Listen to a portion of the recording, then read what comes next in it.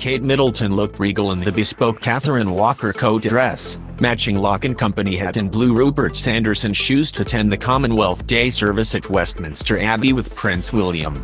Although Queen Elizabeth was unable to attend, the Duke and Duchess represented the royals at the high-profile event on Monday afternoon at Westminster Abbey. Prince William and Duchess Kate were two of the first to arrive for the afternoon service, both dressed in complementary blue tones, and join other royals such as the Prince of Wales and the Duchess of Cornwall as they represented the Queen. The first member of the royal family to arrive at today's engagement was the Queen's cousin, Princess Alexandra. Prince William looked dapper in a suit and blue tie that complemented his wife's ensemble. Duchess Kate's ensemble by Catherine Walker consisted of a wool coat with a velvet collar and a fascinator of the same shade. Navy suede pumps accompanied the look, which was accessorized with gloves, a clutch purse that was created especially for the occasion, and a sapphire necklace and earring set that matched her engagement ring, which once belonged to William's late mother, Princess Diana. The design features incredibly neat tailoring, a longer length and a luxe velvet collar. It also boasts sharp shoulders and angular pockets that accentuate the crisp silhouette. While the exact cost of Catherine's dress has not been confirmed, Quartz estimated that a Catherine Walker dress would cost at least $2,500. On Catherine Walker's website, the closest dress she has on offer is the sapphire dress, but no price tag is mentioned on this one either. The look certainly got the royal seal of approval from fans on Twitter, one user wrote, Wonderful coat dress in a beautiful color. I love the hat, lovely and elegant couple. While another agreed, beautiful. One of my favorite annual engagements for the Duke and Duchess of Cambridge. Another user wrote, Catherine's hat and hair today is just perfection, while another declared, these photos of the Duchess of Cambridge should be put on a stamp. It is thought that Princess Kate wore the color not just as a nod to the Commonwealth flag, but also as a show of support for Ukraine.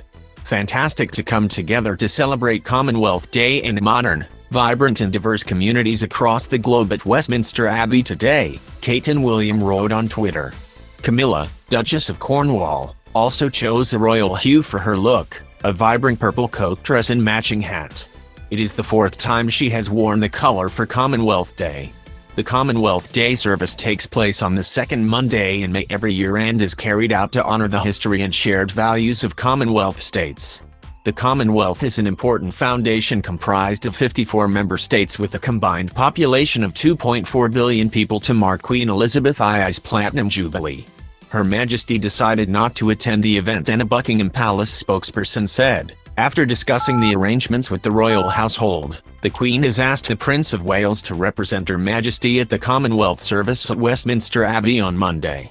Today she said she hoped the Commonwealth remains an influential force for good in our world for many generations to come, and renewed her promise made in 1947 to always be devoted in service in a written Commonwealth Day message. Now in the 70th year of her reign, the Queen said it had made her happy, during her Platinum Jubilee year, to reaffirm the pledge she made in 1947 as a 21-year-old to devote their life in service to the nation and Commonwealth. The Queen will continue with other planned engagements, including in-person audiences, in the week ahead. NPV Magazine is the best source. You will find everything related to your favorite members of British royal family, the latest and fastest news about them. This channel does not seek to prove truths behind the curiosities, theories or events of history.